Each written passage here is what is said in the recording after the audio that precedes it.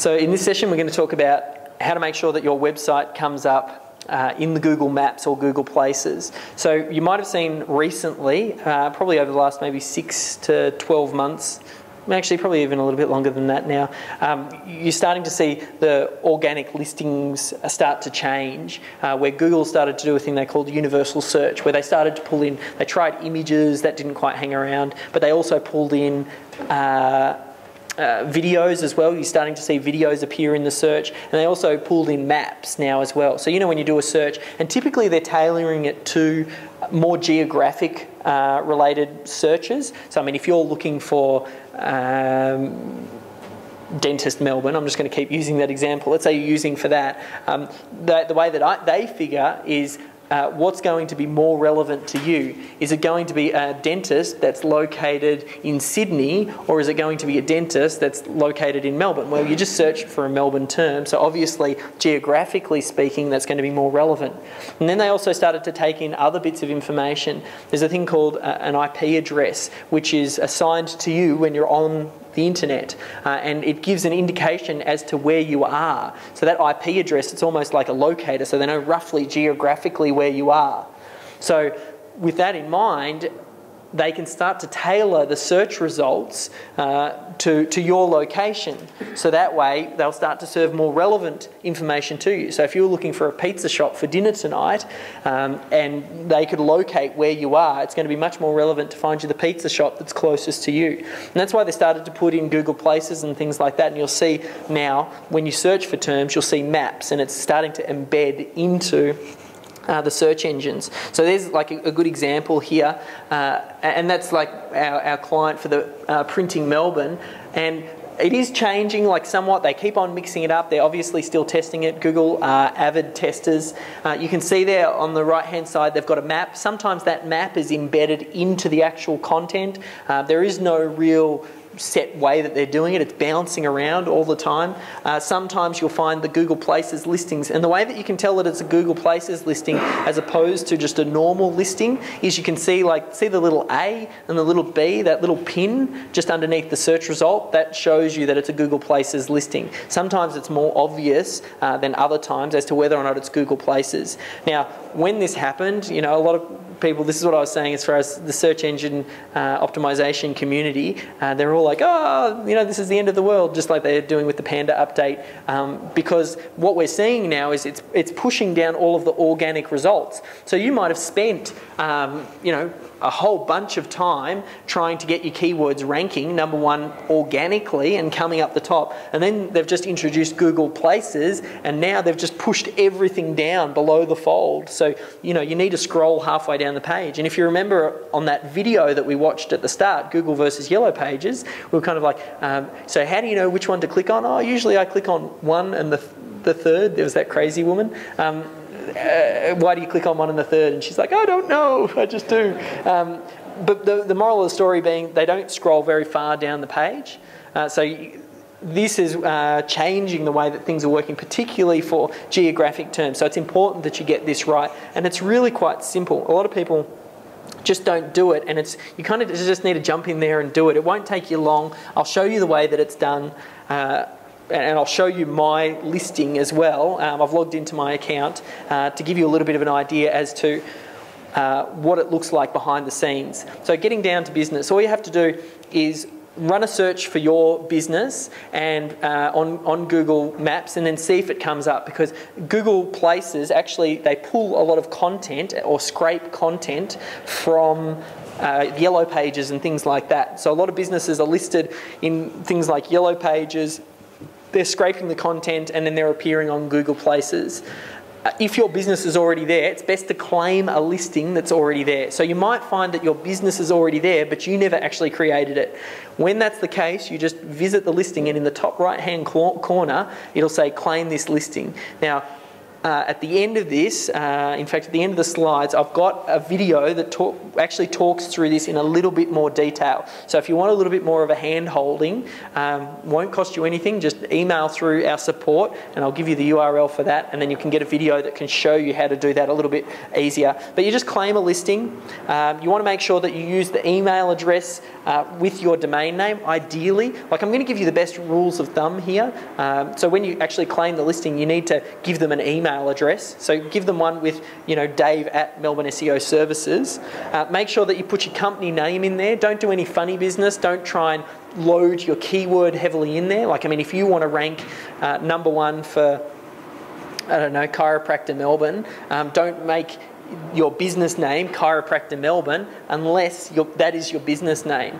Google's getting really smart about trying to spot people that are trying to game the system. And uh, just recently, we, we had uh, our, one of one of our, our Google Places page uh, got canned, um, and, and the, they're just getting really smart on the way that things are doing. Like, I mean, things that used to work uh, aren't working like they were. Uh, they are constantly changing it, and it's really quite difficult to contact Google. They're just like this massive company that's so core to so many people's businesses, but you can't pick up the phone and call Google. If you try, you'll go through a few teleprompts and then they'll tell you, um, yeah, sorry, we don't offer that type of support. That goes for Google Places, that goes for YouTube. Uh, it's a little bit frustrating. I can probably understand why, though. They'd probably get a ridiculous amount of inbound calls if they did offer that. But the moral of the story is follow these rules of thumb. Make sure you use your company name, no funny business. Make sure that you use a real address. Later on, you can hide it. So it might be important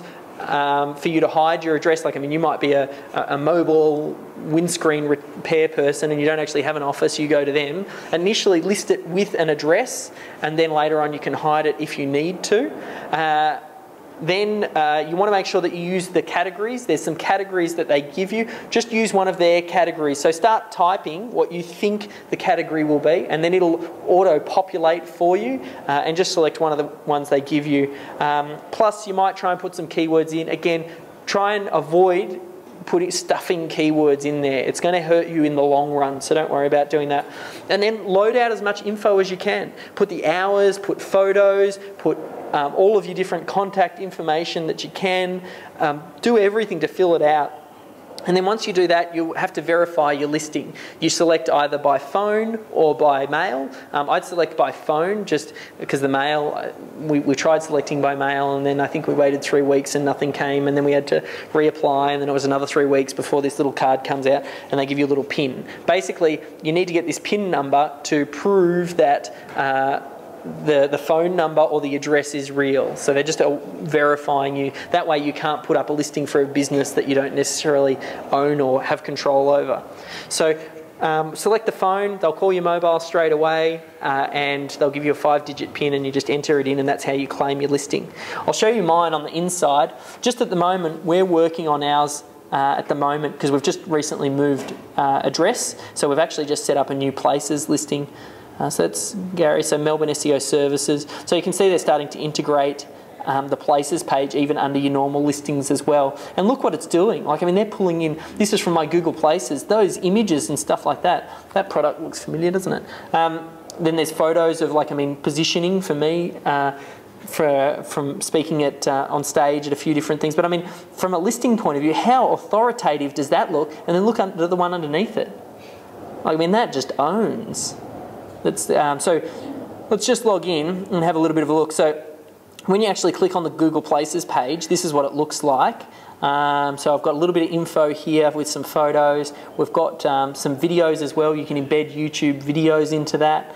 Uh, and like I said, this is a new listing, uh, so you want to make sure that you start improving your. Uh, you can get ratings and reviews and things like that. So you want to encourage people to write reviews. Don't, again, don't uh, try and be dodgy with that. Um, they log IP addresses, so I mean, if they just get a submission of 20 different reviews saying how awesome your business is, uh, it's going to look a little bit dodgy. Uh, and also, like I mean, it's it's natural to sometimes have some bad reviews. Like I mean, if it all looked absolutely perfect, for, that'd end up being a warning sign for me. Because I mean, not every you're never going to please everybody, so um, uh, that's, that's something to keep in mind as well. So let's actually jump in and have a look at the Google Places page. So I've logged in. So when you're actually looking at it, see up on the right hand side here, mine's owner verified.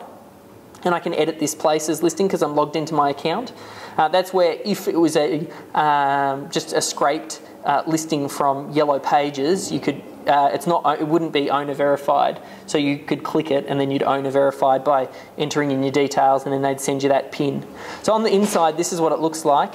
Um, you just select your country, your address, um, all your relevant info. You get to write a little uh, description. Again, don't go too heavy on trying to spam in keywords. Make sure you have call to actions. Think it like I mean, I've got here, call us now, and we'll get you up and running. So think call to actions. Um, the categories I've got here, internet marketing, video production, so that's fine. Service areas, we service anyone. My operating hours. Um, down here we selected the payment options, filled out all of the photos and videos. Keep scrolling down. There's the videos actually. Scrolling down, uh, and we're just we're just starting to do some tests on this. There's um, some other little sneak. This is probably about the only place that you can put keywords in. So we're actually doing some tests at the moment uh, with another client where we're putting the keyword in here and then some links through to your website. But that's still in uh, testing mode at the moment. Um, so that's pretty much what you do to fill it out. Uh, and then once you fill it out, I'll tell you what the secret sauce is. Uh, so how do you actually, once you've filled everything out, how do you make sure that your places comes up? Uh, you need to firstly make sure that um, th this is what Google takes into account when it's deciding what to serve up. You need to it'll think about the address. Like, I mean, obviously, where is the person searching from an IP perspective as well, so they know where you're located. Plus, they'll also know based on the keyword as well. Um, they'll also have a look at the services area. So when, when I was like in uh, my Google Places account, you said I said I had no services area. Um, I, will serve anyone because our business isn't uh, space specific. Like we can serve anyone.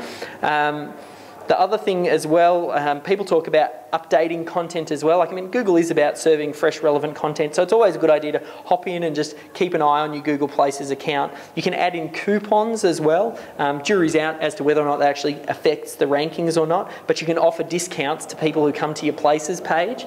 Uh, in fact, having a look at ours, I'll show you what one looks like. So here, 15% off all self-study courses. Um, and I've set an expiry date. So we just do like a little coupon there. If they show that, then they can get a discount uh, on our products and services. Um, getting reviews, again, encourage your clients to give uh, you reviews, that's important. And then the final one, and this is the holy grail when it comes to Google Places, and uh, no one is doing this uh, nearly as well as they probably could or should. Uh, and uh, partly is people just don't know about it yet, but the, the when, when, you think about SEO and ranking websites, it's all about links. So I talked about on page and off page. Uh, 80% of SEO is all about those links getting back to your website. The equivalent of links in um, uh, in Google Places is called citations. So all citations are, uh, are, are um, showing your website's contact details, so your name, your address, your phone number, exactly as it's listed on your website, exactly as it's listed in your Google Places account, uh, having that info listed on other websites. So, and when you make references like that, Google keeps on going, oh, yep, this is important, oh, yep, this is important. The more citations you get, uh, they're kind of like the backlinks of uh, Google Places. So I'll show you how to know where to get those backlinks. So this is a tool that we use, um, and I've got the little link there. It's um, uh, whitespark.ca, uh, and it's just a service. Costs. Uh, uh, I can give you the URL uh, later if you want to copy it down, but it's just a tool that makes you you can reverse engineer what your competition's doing. So I've just logged into my account here, and I've gone into uh, I ran a search for. Uh, one of our clients for the dentists, and uh, you can see here when, when you run your search, I'll set it to Australia, and I searched for dentist Melbourne. So what I can see here is I can see who uh, are in the top seven. So they have they call it the seven pack. Basically, that's the they list seven businesses mainly on, on the front page for Google Places. So having a look here, we can see what the citations are just here. So this is what our competition is doing. Uh, and then uh, we can view their citation sources. So basically, it's just a matter of where are they getting their citations. We go get the citation, and that's how we move up the rankings.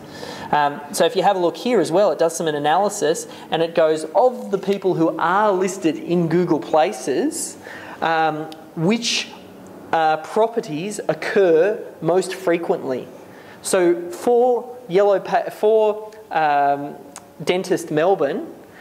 Uh, 30, there are 39 occurrences of the businesses listed on Google Places also have a listing in truelocal.com.au. So that means it's important for you to have your business listed in True Local uh, because that's one of the real major core citations where it's consistent across the board for all of them. So that's that's like I mean that's right there the the, uh, the secret sauce. So um, the action plan from here, uh, you want to make sure that you uh, claim your listing. Uh, very easy to do. Uh, I think I was talking to Sam during the break just previously when you saying like someone someone had commented how little people have actually claimed their no some someone had said does anyone oh there we go um, it's like 2% or something like that of businesses have actually gone ahead and claimed their Google Places. It's so brain dead simple to do, so you might as well do it. Um, and I showed you exactly how to do that. Uh, you want to encourage reviews, build those citations, and if you want uh, another video or if you want help actually doing it, uh, if you're in a competitive space, then obviously check out Melbourne SEO Services. But if you want that video as well, just email us, go through to Melbourne SEO Services um, website, check out the contact us, and just say, you know, I was watching the uh, Competition Crusher workshop and I wanted to get a copy of that video that you referenced and I can sort of go through in a little bit more detail how to make sure that you optimize that listing. Uh, so that is a wrap at the end. Might see if there are any uh, final questions just before lunch. Yep, so we're just Damien up front. Like with your web-based companies, David, like Planet 13, is it? Yep. Do you still use a place page? Yeah. So for the, uh, it's, it's not so relevant for businesses that don't have a, a physical address. Uh, for us, like I mean, for Planet 13, we actually still have the place, but we, we, had a couple of retail stores, even though they've closed down. I don't know if we should probably have a look. I don't think we've gone in and uh, taken it down since then. Um, I like I would, if you can, like I mean, all businesses got to have some residence, so you might as well put your own home residence or something like that. Because um, I mean, it's just another chance, another bite at the cherry. I don't. It's not make or break. There's so many other different ways to build um, or, or, or, to make sure that we're appearing in the search engines. Like we'll have a look at video, we had a look at organic, we've had a look at places. If you can, I would, but uh, yeah, I suppose it depends whether or not you want to list your website or not, or your home address. Cool. All right, let's have some lunch. Thank you.